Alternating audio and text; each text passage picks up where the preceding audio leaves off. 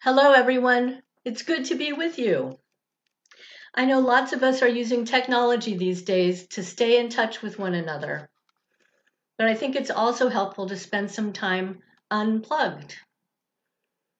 And that's our story for today. Unplugged. Ella gets her family back.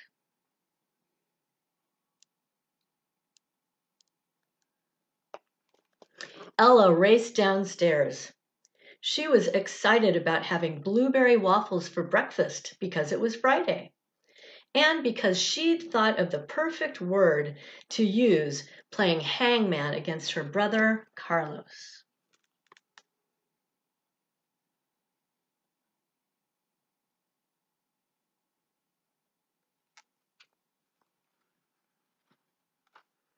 Her father sat at his computer in the living room, reading the news. Good morning, Daddy, said Ella. Without turning around, he said, Hi, honey.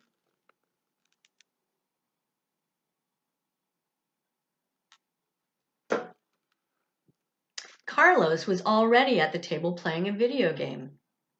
Good morning, Carlos, said Ella, but he didn't seem to hear her.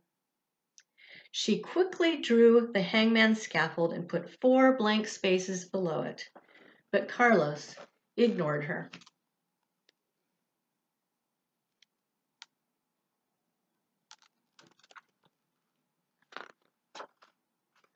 Ella's mother had a briefcase in one hand and her cell phone in the other. She nodded toward the milk and cereal box already on the table. But you said we could have blueberry waffles as a treat today, Ella reminded her mother. Hold on, Ella's mother said into the phone. I'm sorry, Ella, but I forgot. We'll have them tomorrow morning.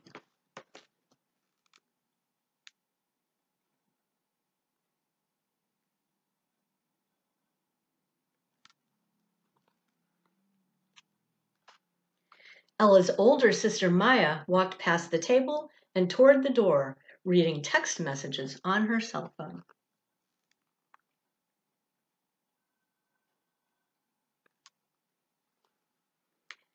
Wait, said Ella. You promised to do my hair before school. Maya knew how to make all sorts of beautiful braids, even inside out ones. Tomorrow, said Maya as she walked out the door. I have to meet some friends now.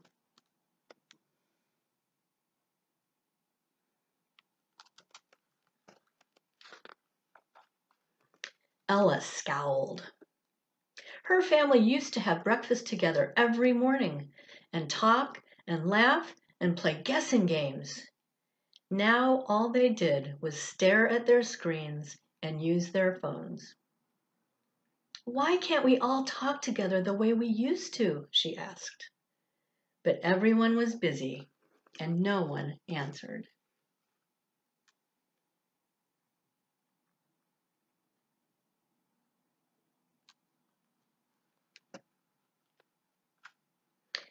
That afternoon, Ella rushed home from school and looked for her father, who had promised to go bike riding with her.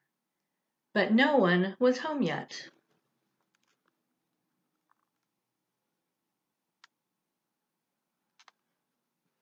Suddenly, Ella had an idea.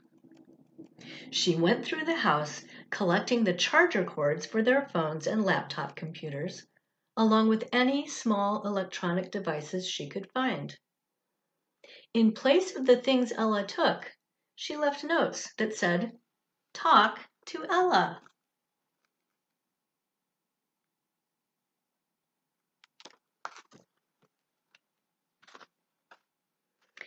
A moment after Ella finished, her mother arrived home and went to plug in her phone. Ella, have you seen my charger? I left it right here on the counter. In here. Ella held up a laundry basket filled with cords and gadgets. Maya came home from school and after a few minutes asked, What have you done with my iPod? In here. Ella pointed to the laundry basket. Then Carlos came in, and when he saw the laundry basket, he said, Give me back my stuff. What's going on? asked Ella's father, coming in the door. Come on, Ella, said Maya impatiently. My phone battery is dead, and my friends are trying to tell me where to meet them. And Ryan is on his way over to play video games with me, said Carlos.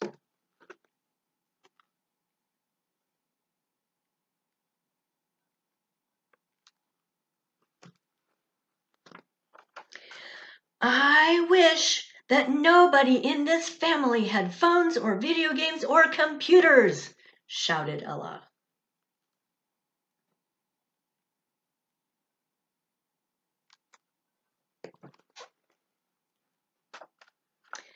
Ella's mother sat down and asked, Is this your way of telling us that you think you're old enough to have a cell phone too? Do you feel left out because you're the only one in this family without a phone? asked her father.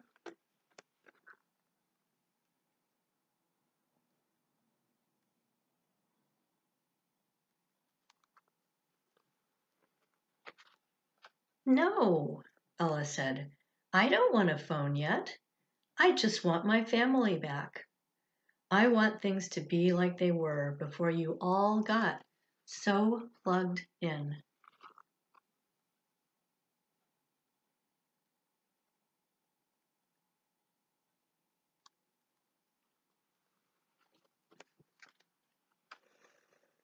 She returned everyone's games and music players and phone chargers. Her father plugged in his laptop, and her sister ran off with her iPod. Carlos went to his room with his video game.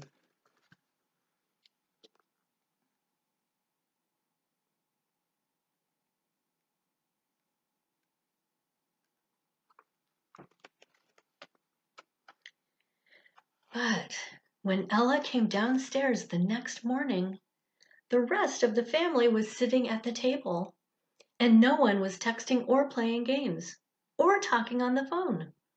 Everyone was actually smiling at her.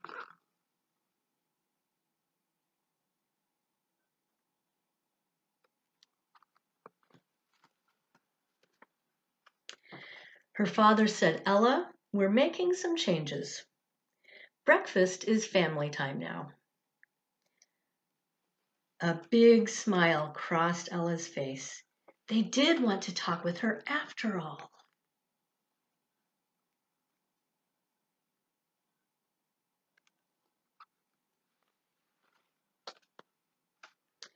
Her mother served them blueberry waffles.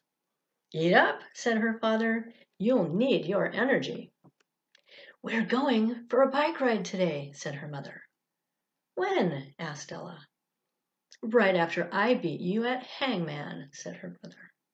Dream on, said Ella, because she already had a terrific word in mind. Plugged, unplugged.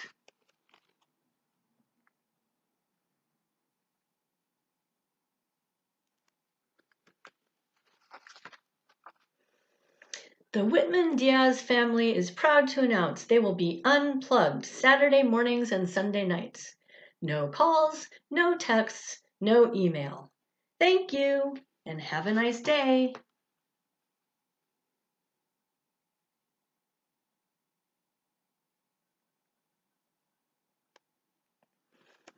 And that's our story for today. Be well. I miss you.